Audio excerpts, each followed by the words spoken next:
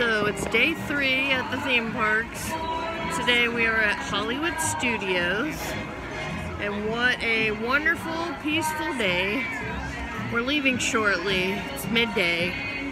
Um, we won't be here tonight, so I see they have Christmas decorations up and we won't see that.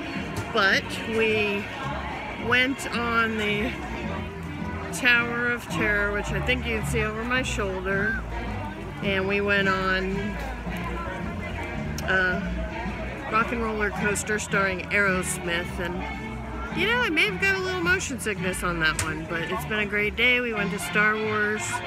I got to see Beauty and the Beast, which is my favorite. And what what peace and joy that brought me to see that. I haven't seen that probably in 10 or 12 years, maybe more, who knows. But it's been a great time, a great adventure, and I'm happy I got to be here and spend time with my son, his girlfriend, and her mom, and it's awesome. I hope you get a chance to do that sometime too. This is Lisa, your stylist, with a peace of me moment.